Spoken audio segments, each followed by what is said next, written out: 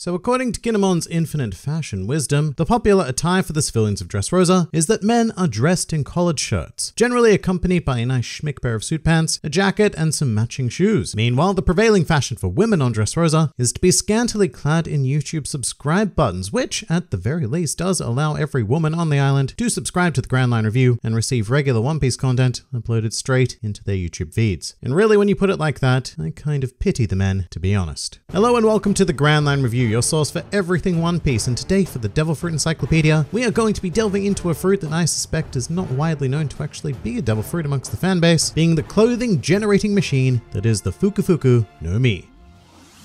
The Fukufuku no Mi is a paramecia type fruit that allows its user to craft clothing out of everyday natural objects such as leaves or stones, simply by visualizing their form. So it's another fruit on the more bizarre scale this time around, and it matches its user quite perfectly, being the samurai Kinemon, and the Fukufuku no Mi's abilities were first displayed to us during the Punk Hazard arc. This fruit takes its name from the Japanese word fuku, very simply meaning clothing, and this is another one of those scenarios where seasoned general anime veterans should immediately recognize this word as it forms various parts of other common words such as seifuku, a common type of school uniform. Now, we probably have the most interesting English translation yet, and it spawns from a variety of factors that we will have to go into, but in the official English translation, the Fukufuku no Mi is not currently recognized as a devil fruit, and so the strange power of Kinemon's was instead called the Garb Garb Jutsu. And let's get that whole issue out of the way first. Yes, there is a ton of confusion surrounding Kinemon's abilities because they are very much modeled after, how shall we say, certain traditional anime ninja arts, and by that I mean that whenever he invokes the fruit's power, it does look like something out of Naruto. And to pile onto this misconception, Kinemon's fellow vassal Raizo has actual ninjutsu abilities, so for an awfully long time, and I guess still to this day, many casual fans have assumed that Kinemon, despite being a samurai and not a ninja, has access to his own form of ninjutsu. That is also despite the fact that Oda went way out of his way to have Kinemon state that he, quote, ate a strange fruit. But because Kinemon has lived his entire life on Wano, he is very much unaware of the existence of devil fruits, and he tends to consider just about everything some sort of ninjutsu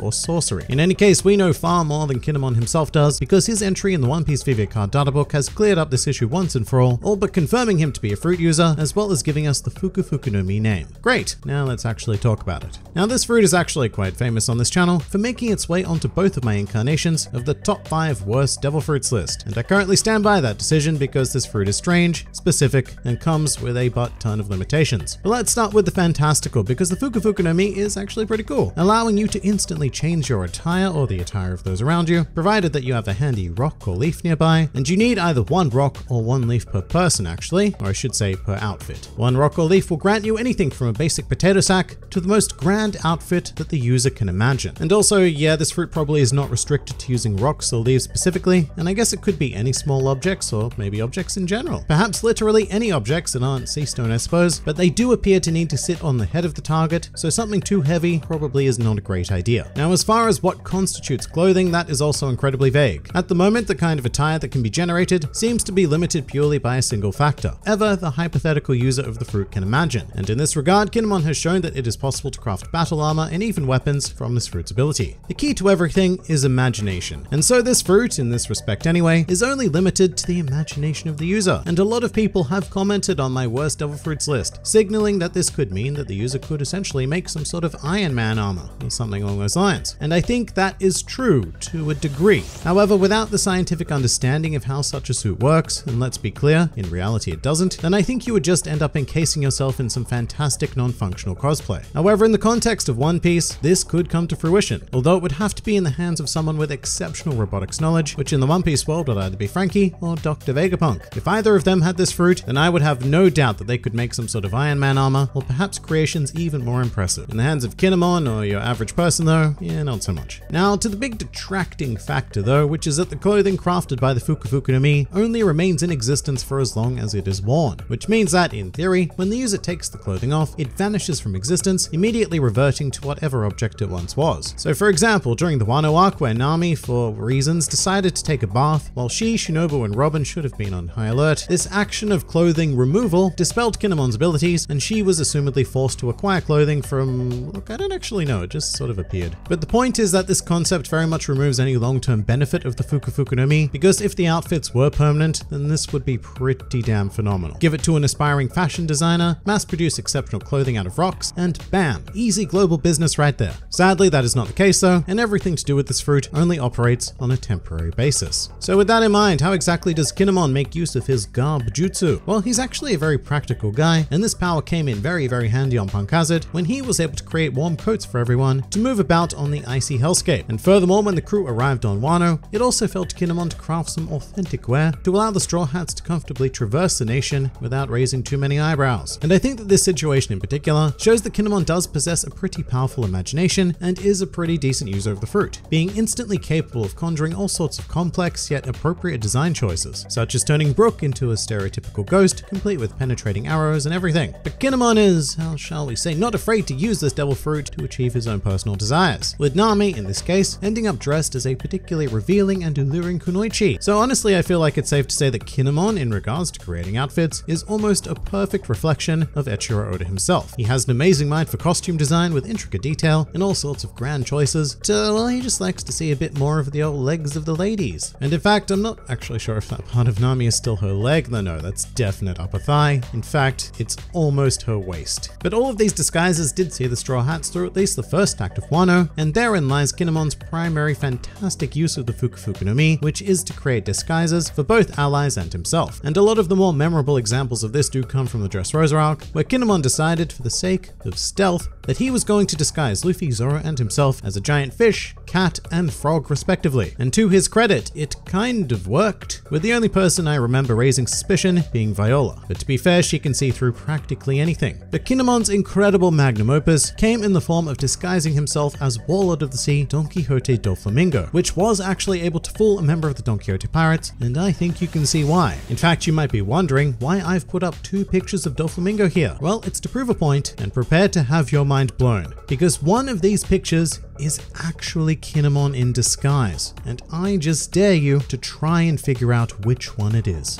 They're the same picture. Onwards to awakening speculation here, and my initial thought is a very simple one. Basically, unlock an ability to make conjured clothing permanent. That alone would massively increase the appeal of this fruit, and honestly remove it from my impression as one of the worst in the series. Another option though might be to affect the environment by granting the user the ability to turn various objects into clothing without needing someone to wear said clothing. So for example, if you were stuck in a cave and a pesky boulder was blocking your path, then you could just use your abilities to turn that boulder into a snazzy pair of jeans. Now wouldn't that be nice? But otherwise, the Fuku Fuku no Mi is a bit of a weird one to think about because technically it does already affect your environment with its requirements of needing to turn objects into clothing. Some other miscellaneous things to consider when becoming a clothing human. With what we know of the fruit right now, there are some unfortunate conditions that very much hard counter its abilities because it does run off of fuel, which are very small objects. So if the user were to be imprisoned in a very bland, minimalist room with no objects, then they would be in a pretty rough situation. However, for the most part, that is an extreme scenario, and there should, more often than not, always be something around to use. Piggybacking off the awakening idea though, it's actually unknown if Kinemon can produce clothing on its own, or if he needs a living mannequin to dress before bringing them into existence. However, given that the clothes vanish when not worn, would seem unlikely. Or I guess technically possible, but then he would create the clothes and they would just immediately disappear after being conjured because they're there and then they feel like they're off. Uh, and something I touched on much earlier but didn't really expand on is that to some degree, the user of this fruit is also capable of crafting weapons, so long as they adorn part of the target's outfit. So that is actually a pretty big deal because you know that could be basic blades, guns, or really anything you could think of that could be stored in a sheath, holster, or some sort of clothing related cache. And if the user's imagination was good enough, then maybe they could even craft amazing items such as Meito grade swords. And look, in reality, this could be a nice ability to have. However, just remember that if you are caught in an emergency situation, you will still need to take the time to find a small object, pop it on your head, envision your needs, and then activate the power. So I don't think this fruit really responds well to most like emergency situations. So in the end, what we have is a nifty paramecia with quite a bit of general utility, at least in reality. I'm still not convinced on it in regards to the One Piece world, but the Fukufuku no Mi really is more of a novelty fruit anyway. It's fun and mostly practical, but it is nowhere near as life-changing as, I'd argue, 99% of other devil fruit powers out there. The only way I can see the Fukufuku no Mi making a huge impact is if it were in the hands of a being with superbly advanced mechanical knowledge, and then maybe, yeah, we can make that whole Iron Man idea happen. Although another great scenario in the real world might be to give this fruit to a costume designer for theatre or film, although given the amount of ridiculous quick costume changes in musical theatre, then this fruit may even end up being quite impractical there, because you would just need to keep generating the costumes, and it's like, ugh. You'd really need like multiple people with multiple Fukufuku no Mis, so yeah, it's not entirely practical. Might be good for concept design though, but another option would be to put the fruit in the hands of a cosplayer, although most cosplayers I know take great pride in the work that they put into their outfits, so the Fukufuku no Mi is kind of like cheating in that regard. And then when you think about this fruit in the hands of the average person, it may very well end up performing at a far below average level. I mean, I tend to give Kinemon a lot of crap for not understanding the world around him, but the man is undeniably a pretty great fashion designer, especially given the minimal knowledge of the world that he does have. He creates unique and generally stylish gear, and most human beings are simply not capable of that. So we would be left with some very limited use here, and so I think that I would probably pass on this one. But with that, we are going to commit the Fukufuku no Mi to the Devil Fruit Encyclopedia. And next time on the Devil Fruit Encyclopedia, we have a very unique and interesting existence, being an aquatic zoan fruit that was quote unquote eaten by a poisonous weapon of mass destruction, being the Sarasara no Mi. But what do you guys think of the Fukufuku no Mi? Please do leave your thoughts in the comments below or even join my Discord server. And if you'd like to see more videos like this, then please do check out some of my other content or even subscribe to the channel for more glorious One Piece business uploaded straight into your YouTube feeds. But for now, this has been the Grand Line Review, and I'll see you next time.